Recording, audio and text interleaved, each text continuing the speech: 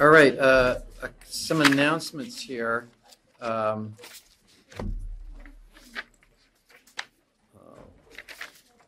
One is, uh, Praxis is uh, sponsoring Dr. Benjamin Powell, who will be here on Wednesday evening, the day of the midterm, but Wednesday evening uh, in Dow B. And that's going to be at seven PM. Um, So at seven PM on Wednesday. And uh, he's, he's speaking on his new book co-authored with Dr. Robert Lawson. And the title is Socialism Sucks, Two Economists Drink Their Way Through the Unfree World. Um, So I've not read the book, but the title is obviously fairly interesting. So uh, anyway, if you, uh, you know, if you get a chance, uh, you might stop by uh, Dow B uh, at 7 p.m. If you know of anybody that is a senior uh, economics major, um, there's an exit exam Wednesday as well at 6:15, which will be over in time to go to the uh, to go to the uh, Benjamin Powell lecture, and that's in this room, lane 337. So if you know somebody that's a senior econ major, you might alert them to that uh, exit exam that they're supposed to go to. And then finally, um, the uh, our public relations, media and public relations uh, folks um, have discovered that the Wall Street Journal has a blog that they were hoping that um, some of our students might, might write into. It's called Future View, and it is for college students to send uh, their comments on a particular topic. Um, uh, she sent me one that was uh, the, the the topic was I this the campus free speech crisis overblown? Um, so evidently they have uh, different topics, uh, and if you're interested, then uh, you can try Future View uh, on the Wall Street Journal. Uh, and if you're have trouble trying to figure this out, Emily Davis is the person to contact in the media and public relations if you're interested in uh, sending something into the Wall Street Journal's uh, Future View. All right. Uh, again, uh, don't forget that the exam is uh, is Wednesday. I should be in the office most of tomorrow. Probably in the office this afternoon as well. Uh, so uh, if you have any problems working your way through some of the old uh, exam questions, you know, just uh, feel free to feel free to stop in.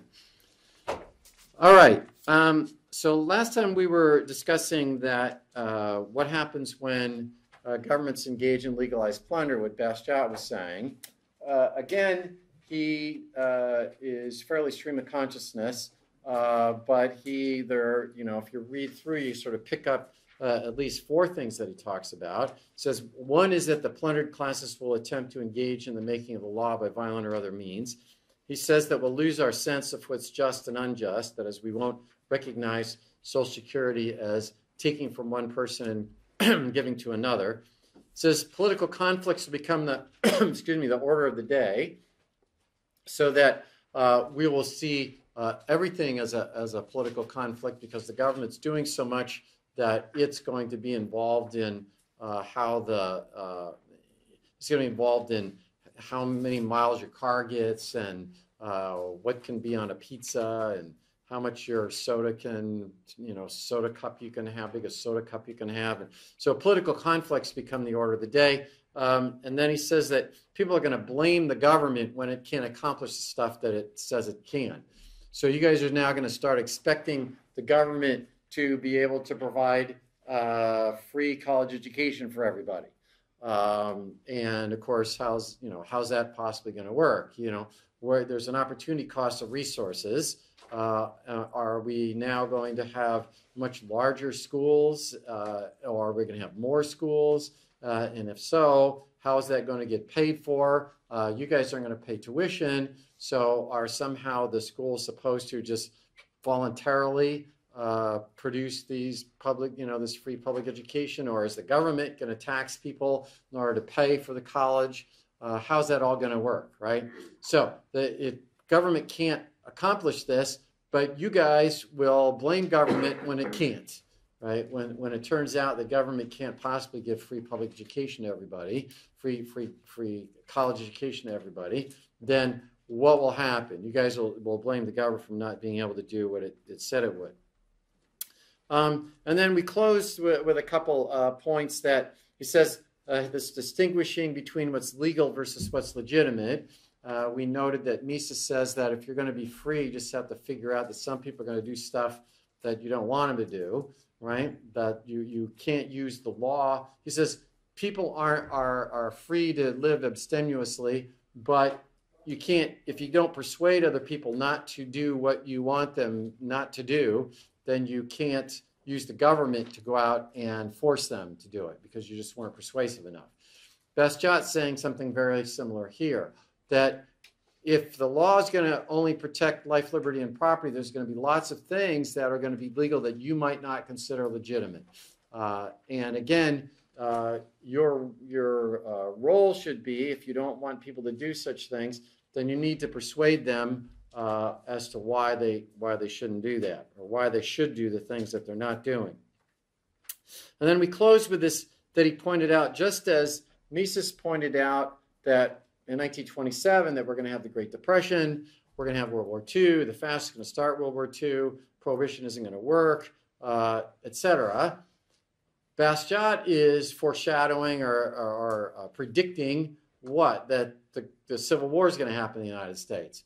Um, and he says, just as Mises said, what's going to cause all these things is anti liberal thought, right?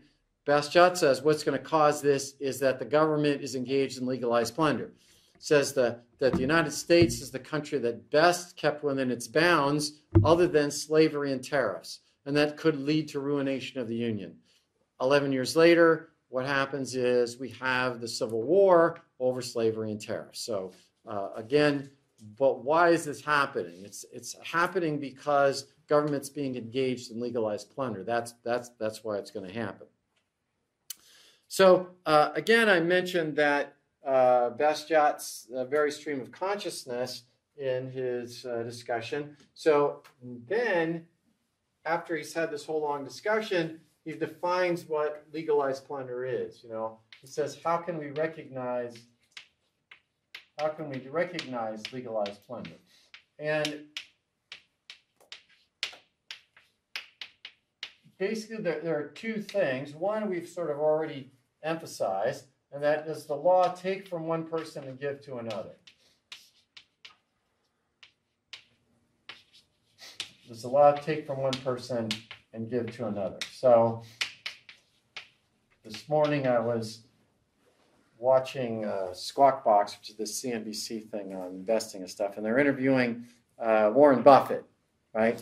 Uh, and they ask him about um, uh, this particular stock and why this other guy is selling the stock. Uh, and he says, well, he only the, the, this other guy says he only has $14 billion under management. And so when he wants to uh, buy one stock, he has to sell another stock. And I have enough that, you know, we have cash on hand. So Warren Buffett, pretty wealthy, right? I've never said, oh, they only have $14 billion that they're managing, okay? Um, so what happens? Warren Buffett still gets Social Security, right? Um, and so that is legalized plunder, right? You guys are paying 12.4% of everything that you earn, you're paying it into the federal government. So what? So we can give it to Warren Buffett. Um, and uh, again, we will lose our sense of what's just and unjust, but, but nonetheless, what's, what the point is, what is legalized plunder? If the law is taken from one person and giving to another, that's legalized plunder. But the second thing he says is, does it give one person an advantage over another?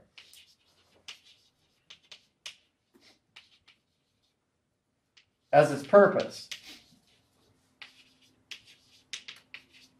Right? Is, is the reason for it to give one person an advantage over another? Now, clearly, laws, you know, there's lots of laws that will give somebody a an advantage over another, but is the purpose of the law to give a person, one person an advantage over the other. And what he's really talking about here is tariffs uh, and regulation.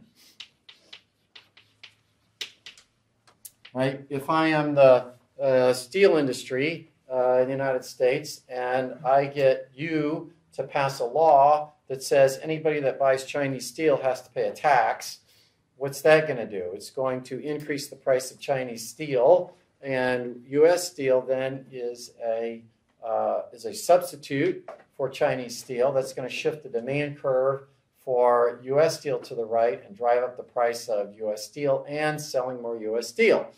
So the purpose, if, if what the you know the, if the purpose of the tariff is to advantage U.S. steel manufacturers, then that would be legalized plunder. Um, if there was a regulation that required you to uh, use electric cars uh, to give an advantage of uh, Tesla over General Motors, or General Motors now sort of got electric cars, but uh, let's say over Chrysler. Um, if that was the if that was the purpose of the law, then that would be legalized plunder.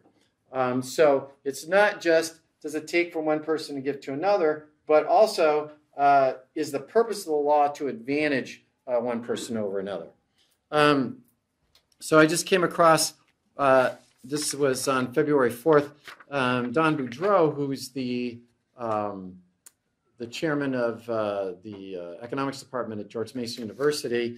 Um, he also has a, uh, a, blog called Cafe Hayek that has a lot of uh, a lot of interesting things on it that's just big, using basic uh, Econ 105 level of economics to analyze uh, different uh, situations.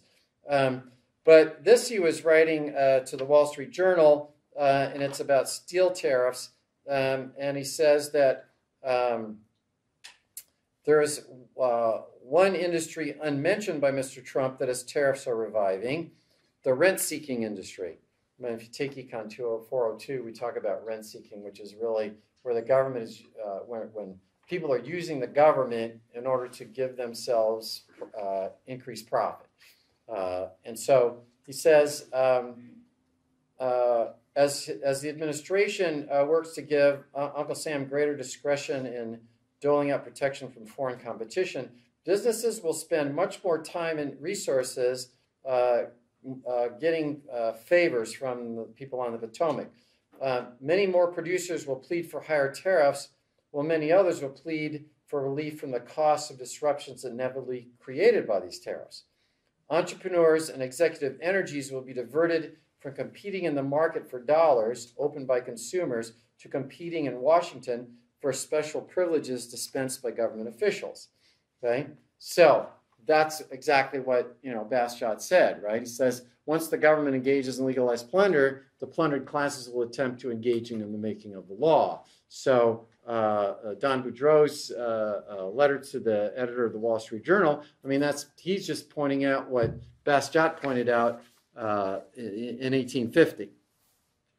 Um, then he says that uh, the law. He says the law cannot do the law cannot do more than guarantee individuals the free and inoffensive use of their facilities. Excuse me, their faculties for physical, intellectual, and moral self esteem, right? So, what, what does he say? Well, the law, if you and what he's talking about is a just law, right?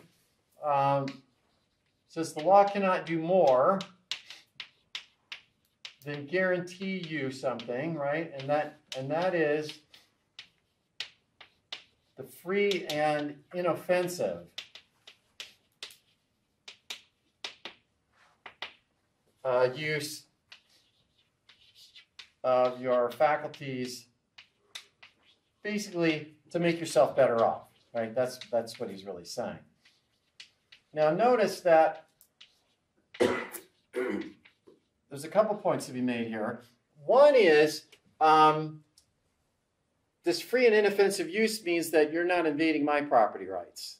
Okay, if you're doing something and it's invading my property rights, then it's your use of your property, but it's invading mine. So, for example, uh, again, if you wanted to produce electric power, uh, and as a consequence, uh, sulfur dioxide is going out into the atmosphere and causing acid rain and ruining my crops, then that's not inoffensive use, right? So the law needs to come in and establish what the property rights are. Now, again, in law and economics and public choice and public finance, I talk a good deal about those pollution, what we call externalities, where your action is imposing a cost on me, um, but you don't have to pay for it. Uh, so the solution is for the government to define property rights and say, okay, here's here's somebody's got the property right. When we read Hayek's Constitution of Liberty, he's going to talk about laws as being the boundary of the sphere of free action. And it says that what happens is when your free action interferes with my free action, then the law's got to say, okay, here's who's got the, doesn't say it exactly this way, but here's who's got the property rights. So he's saying that the law can't do more than guarantee the use of your uh, faculties, your property, right, to make yourself better off. And, in, and, and you can't invade somebody else's property rights. So uh, the law can't do more than that. Um, now, uh, think about what also we, we talked about what did we assume at the beginning that you're rational, self interested individuals trying to make yourself better off. Right? That's, that was one of the first things that we talked about when we were try, trying to develop a theory of people's actions. So we said that, so this is basically what Bastiat is saying that you guys are going to try to make yourself better off, and the law can only guarantee you the right to do that. Uh, it can't guarantee outcomes. That's really what he's saying, right? The law can't guarantee uh, what the outcome is. Um, and again, um, uh, he's really saying a just law can basically only uh, uh, protect our liberties. Um, then he says, the uh, next thing he talked about is that um, one of the problems is the person who receives the benefit is not the person doing the stealing.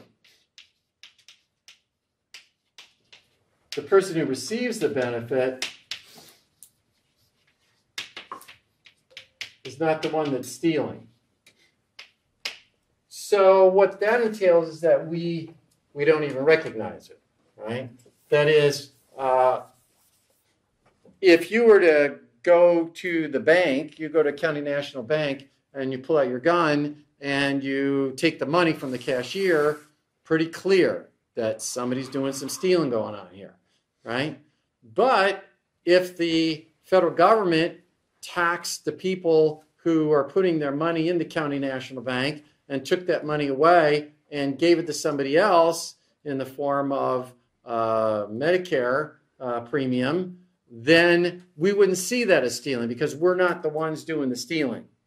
So Bastiat's point here is once the government is doing the stealing, um, we don't even recognize it as theft, right? Because we're not the ones doing doing the stealing. And I mentioned earlier, if you had a change in the Social Security law that said that you go to your neighbors, you have a list of your what your neighbor owes in Social Security taxes, and you had to gather it up from them. And if they didn't give it to you, you pulled out a gun and said, "Oh, you're giving me the money," right? We'd say, "Wow, what what allowed you to be able to go to your neighbor with your gun and take their money away?" Right? So it'd be obvious that the stealing was going on. But when we allow the government to steal stuff, then we don't see it as we don't see it as stealing. Um, then he points out that it's not the individual legislators that are causing the problem. He says that he's really attacking the system.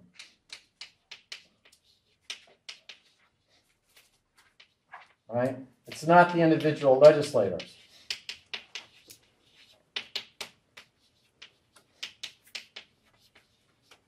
That is, once the system's there, don't expect that electing another person to parliament or electing another person to Congress, they're not going to engage in legalized plunder. If that's the rules of the game, they're going to do it. And it's not their fault. It's the idea that you guys have accepted that this is the way we're going to run things.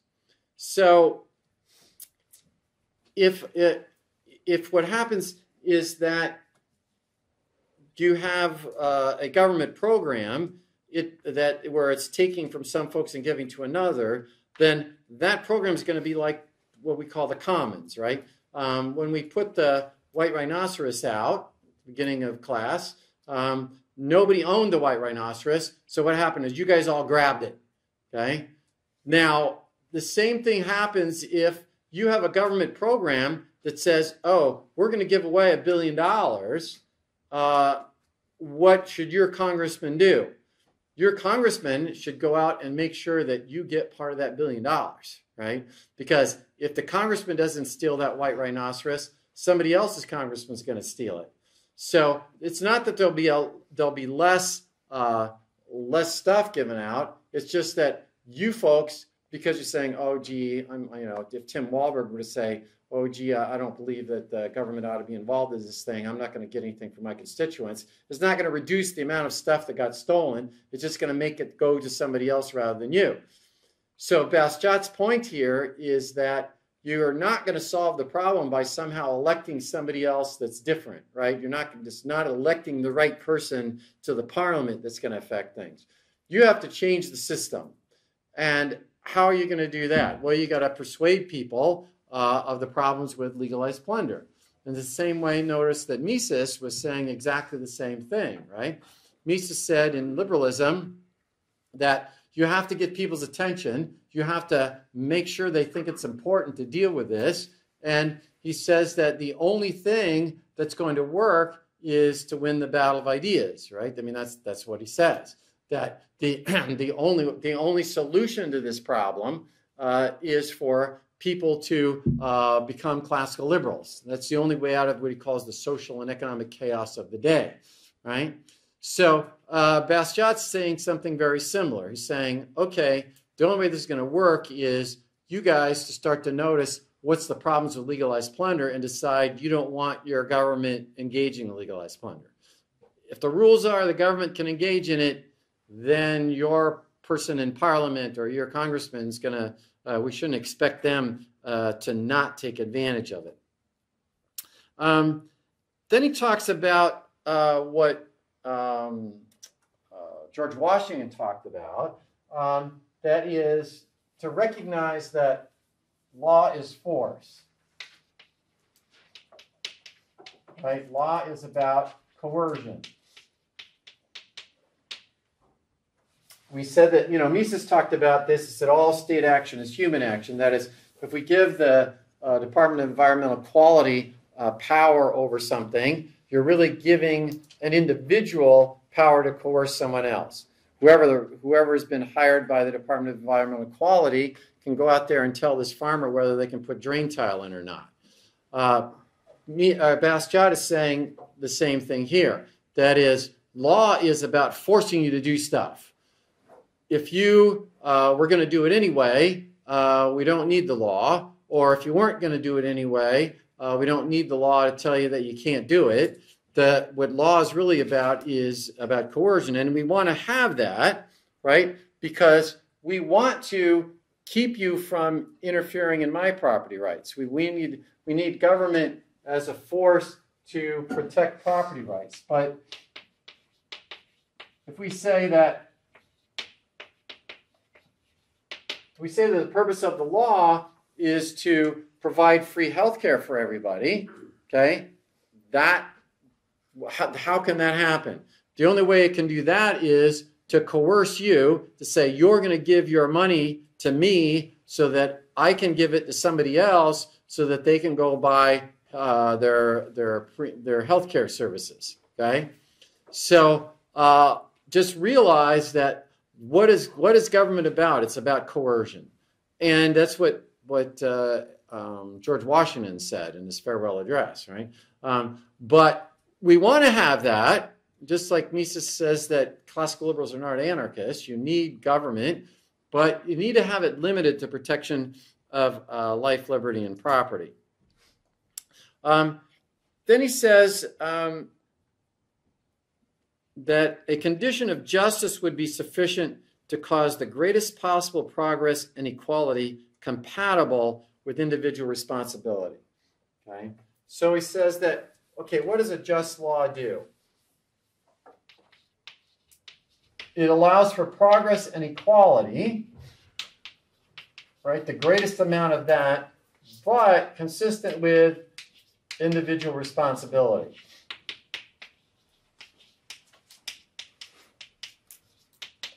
Again, foreshadowing um, both Mises and Hayek, but Hayek has a whole chapter on responsibility in, in Constitution of Liberty, which we'll read. So that the he says what ha- what happens is a just law. What the, what you know what is justice about? We want to have it so that we have the greatest progress and equality, consistent with individual responsibility. So, when we read Mises's liberalism, one of the foundations of liberalism is an inequality under, you know, inequality of income. You have equality under the law, but you have inequality of income. Bastiat's pretty well saying the same thing here. That is, uh, if you guys have individual responsibility to produce for other people, then you're going to get rewarded if you're very productive and if you're not very productive, you're not going to get very much. And so what's going to happen is you're going to have inequality of income. But we want to have income as equal as possible given what that you guys are acting according to your own plan and you guys are uh, more when some people are more productive than others. So again, Bastiat is really meaning equality under the law at this point. And he's also basically again, he, uh, we, have mentioned that he focuses on justice, but also at near the end of the book, you get more of his uh, discussion about how a government limited to the protection of life, liberty, and property is also going to be the one where you guys uh, have the most stuff. That it's going to create uh, create the most wealth, and that's what he's talking about here. What he's talking about. Uh, the, a, a, state of justice creates the most, the, you know, the most progress, um, he's really talking about uh, that the economy will will uh, will grow the most if you uh, have a government which is just, right, which has limited the protection of life, liberty, and property. Um, and then, and then, you know, following up on this, he says the law can only equalize incomes by taking from one person and giving to another. So if you have the government out there the only way it can equalize income is to take from one person and give to another. That is to engage in legalized plunder. And we need to realize that. That is, we need to realize that if uh, if you are a democratic socialist, you know, if you're running for president as a democratic socialist, and you say that I'm going to make it so that we're going to make the income more equal. The only way to do that is to steal, right? The only way to make it so that you have more stuff is for me to take it and from somebody else and give it to you. So again, will we recognize that as theft? Um, Bastiat says, you know, once the government engages in legalized plunder, you'll start to lose that sense of what's just and, and unjust.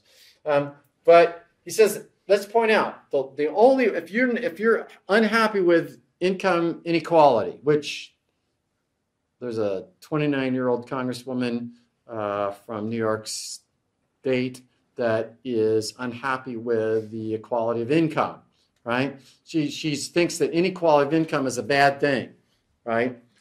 If you're going to make incomes more equal and you're going to do it using the government, the only way you can do that is to engage in legalized plunder, to steal from one person and give to another. That's the only way it can happen. So we sort of need to to uh, to think about that. And then he says, um, forced associations are, uh, are, are unjust. If I force you to join something, uh, but Voluntary associations are not unjust.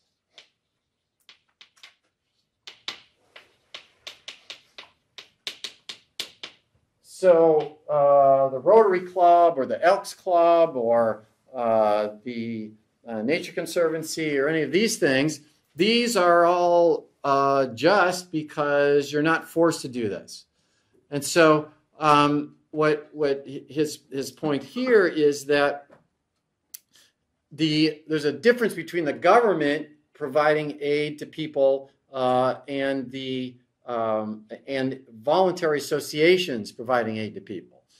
Um, you'll notice that in the city of Hillsdale, uh, you'll notice that let's say somebody uh, their their child uh, gets some disease and uh, it's going to cost a bunch of money to have them at the hospital or whatever. Guarantee you, the front page of the Hillsdale Daily News will say, uh, "Well, the Elks Club is raising money for." this couple and they're going to have a dinner and it's going to be on Wednesday and you know all the proceeds will go to the family or the or the Rotary Club will do that or or whatever. Some church will there will always be some voluntary association that's out there that's helping uh, people who are in trouble.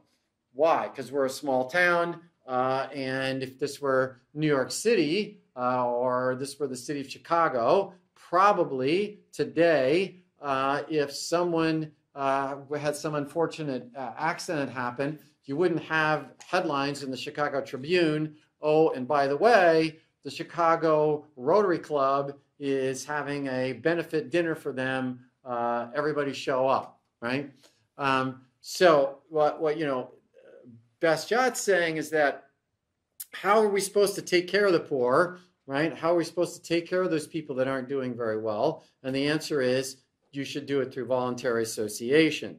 Um, in fact, uh, there's a. Um, I, have talked about this earlier that if you um, if you Google uh, Gary Wolfram Scrooge, you'll get my article that I wrote uh, over Christmas one time about uh, uh, when when uh, a Christmas Carol when they come to Scrooge and they ask them to help out with uh, poor people. He says, "Are there no poorhouses?" And he goes on with this whole two paragraph uh, discussion about, "Hey, you told me the, the, the government's supposed to take care of these people, right? You taxed me, and the government's supposed to take care of these people." Um, so what do we think today? We think the exact same thing, right? that if the town of Paradise burns down, we don't say, oh, gee, here's this poor person, their house burnt down, their restaurant burnt down, uh, they don't have any income right now, uh, they had to lay off their employees, uh, and etc. And maybe we should send some a little bit of money, right?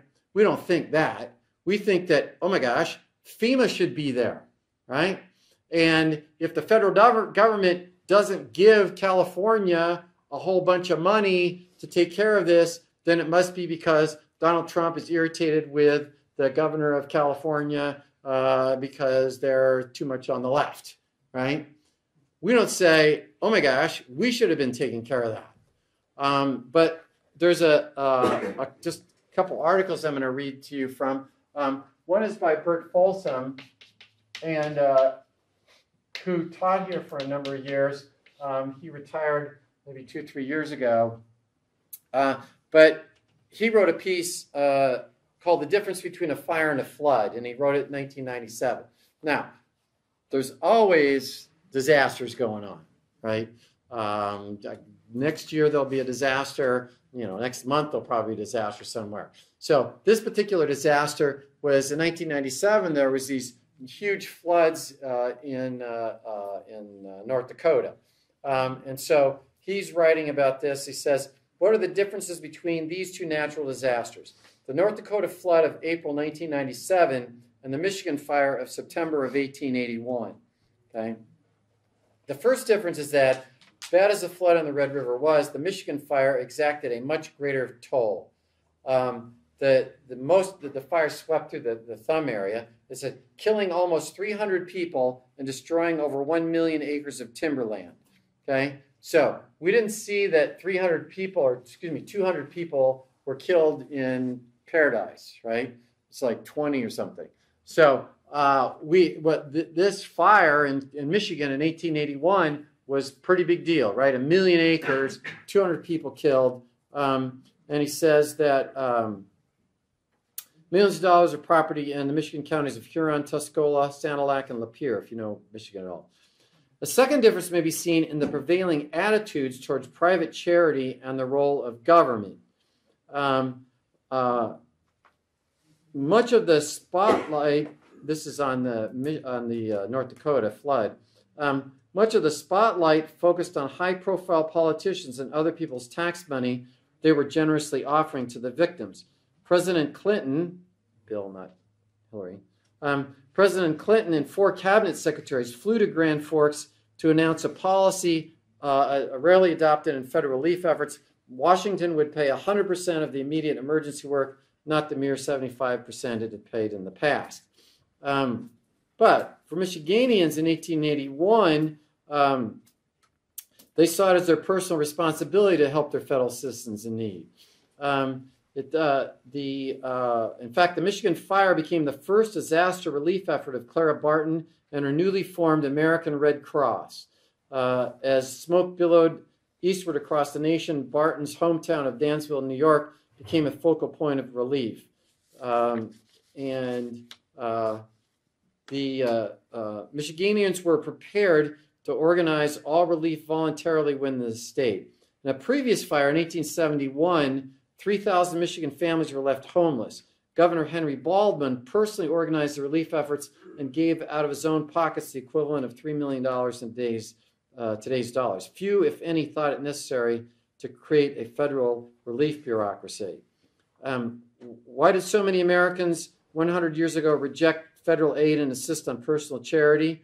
Um, Horatio Bunce, a farmer philosopher of the 1800s, spoke for most citizens when he argued that federal aid to disaster victims was not only unconstitutional, but also uncharitable. If you are at liberty to give to any and everything which you may believe or profess believe is a charity, and to any amount you may think proper, he told his congressman, you will very easily perceive what a wide door this would open for fraud and corruption and favoritism on the one hand and robbing people on the other. So, Burt Folsom's point is 1881, we weren't thinking about, about having the government take care of things. We were supposed to. Let me just give you a, a brief uh, other disaster uh, about the same time. Anybody from Chicago here? Really? Anybody from Chicago? Okay, all in the 10 o'clock class. Um, so, uh, 1871, Chicago fire. What happened? Uh, basically it burnt down the city of Chicago. Um, 300 people were killed. Uh, over 17,000 buildings covering almost three and a half square miles uh, were, were burnt down. Roughly a, a, third of the city in, lay in ruins, and an equal proportion of the population uh, was, uh, was homeless. Um, so, what happened? There was no federal emergency management agency back then, no Illinois emergency management either. There was also little appetite for victimhood and no time to complain. Even before the bricks stopped smoking, the people of Chicago vowed to, vowed to come back uh, bigger and, and better than before. Um, so uh, uh, most of the wharfs uh, and mills along the Chicago River survived, and so these industries uh, uh, kept the city's finances stable and continued to employ people. Um, and it says banks rallied quickly. Uh, within 48 hours, the fire's in. 12 of the 29 banks that had been burned to the ground were operating in makeshift facilities. Um, Henry Greham, a local banker, sent letters to investment bankers all over the globe touting Chicago's great location and opportunities for anyone who would bet on the people of the city. Chicago did not have a public library before the Great Fire, but book donations collected in England became part of Chicago's first free public library, which opened its doors on January 1st, 1873. Queen Victoria, Benjamin Disraeli, John Stuart Mill, and Charles Darwin led that effort on behalf of the people of Chicago. By 1880, Chicago's population reached half a million, so larger than it was before. A flood of talented architects were attracted to Chicago by the post-fire construction opportunities, uh, and many stayed on. Um, by 1890, only 20 years after the fire, Chicago passed the 1 million mark in population, becoming the second biggest city in America. The population had more than tripled since the Windy City's dar- darkest nights. So uh, the, the point here is that it was, he says, it, what made it possible was American ingenuity, optimism, spirit, character, and capitalism itself. That is, 1871, Chicago didn't look towards FEMA, right? Didn't look towards the government to take care of things. And, and it worked out. There's a, uh, a, a, good book called uh, The Tragedy of American Compassion. And what it is, is a discussion. It's a book about what happened uh, in this era that we were talking about, the late 19th century. What happened was people looked towards uh, individual responsibility and looked towards charity to take care of people. Um, and but as they proceeded in time, uh, let's uh, beginning with uh, the New Deal. As you work through that, what happened was people began to think that it was their it was it wasn't their responsibility to take care of people. It was the government's responsibility. So that uh, probably few of us uh, got together with anybody and said, "Hey, maybe we should, uh, you know, help some people out that were uh, in these uh, fires in uh, in Paradise or Santa Rosa or Redding, California. All these big fires they've been having." Now, the the tragedy of American passion basically says that we we become less compassionate once we think the government ought to be providing the compassion. Now, America is still the most compassionate of any country in the world, uh, pretty much by far. Uh, why is that? Because we still believe in market capitalism, right? And we still, uh, there are still some folks that uh, believe that it's not the role of government to take care of everybody. Uh, it is our role. So, if you're going to believe in market capitalism, if you're going to believe a classical liberal, uh, if you're going to believe in a government being just, if it's uh, restricted to the protection of life, liberty, and property, then it, it is your responsibility to take care of other people. Um, we, we, we, it is required a sense of capitalists or classical liberals. If the government isn't going to help the poor people, right, they're not going to all of a sudden magically, uh, you know, be uh, anointed and all of a sudden have money. That's not what's going to happen. We're going to have to take care of them. And if you look to the Soviet Union, one of the things that happened in the Soviet Union is there was almost no compassion in the Soviet Union. There was almost no uh, charitable contributions in the Soviet Union. Why is that? Because you thought that it was the government's role to do everything. So uh, if you look at democratic socialism, is that a reliance on the government taking stuff and giving it to somebody else, relying on legalized plunder. Uh, and what Bastiat would argue is that's not uh, th- that's not what you ought to be doing. What you ought to be doing is uh, taking care of uh, taking care of the poor uh, yourself. Um, and then lastly, uh, Bastiat brings up pretty much what Mises said. Um, he's talking about education. And he says, uh, being against government enforcement of education doesn't mean you're against education. Right? So uh, if you're against government enforced education,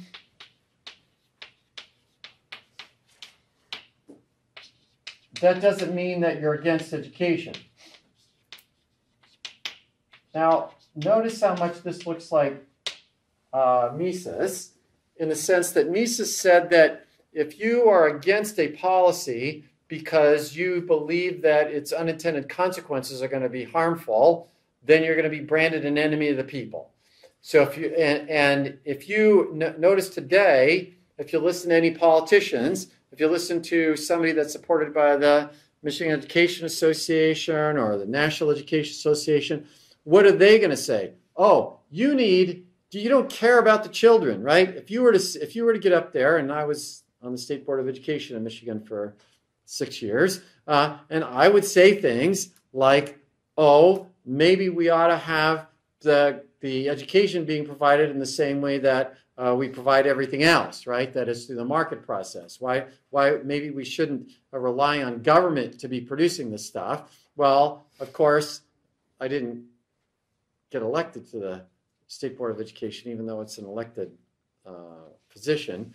Um, Dick DeVos had been a member of the, of the, uh, he had been elected to the state board, and two years into his term, the, um, his father got sick, and so he ended up having to take over the company and didn't have time to be on the state board. So uh, I was appointed uh, to fulfill the last six years of uh, his term. But you can imagine what did they see me as? They saw me as against education, right? Then you know I would read to them from Bastiat and exactly what he said, and uh, you know, and I would read to them from Mises, and uh, but uh, that wasn't uh, what they expected to hear, right? Um, and so, uh, again, just like Mises says, if you're against something because you recognize the unintended consequences, you have to be aware that people are going to attack you and say you don't really want to help people. Bastiat saying the same thing in 1850. He's saying um, uh, being against government enforced education does not mean uh, you're against education listen to people running for Congress or people running for, particularly people running for statewide office, running for governor. Um, what will they talk about? They'll talk about the need for more money for education, right? Then what does more money for education really mean? It really means that taking your tax dollars to provide for government enforced education, where the government says, here's what's to be produced, here's how it's to be produced, here's where you have to go to get uh, to get the services. All right, so for uh, Friday, we will finish uh, the law by Friday. Um, Wednesday, again, is the exam. Don't forget. Um, make sure that you have looked in the in box in the Wolfram folder, looked at the old exams. Don't walk in there for the first time that you've decided to answer this question, being when you're looking at it in front of you because you're not going to have time. You're going to be constrained. Both midterms will be constrained for time, not the final, but both midterms. So come in. There's going to be a question on foundations of liberalism, right? There's going to be a demand and supply curve one, just we talked about last night. So make sure that you come in prepared for the exam, all right? And again, I should be around most of tomorrow and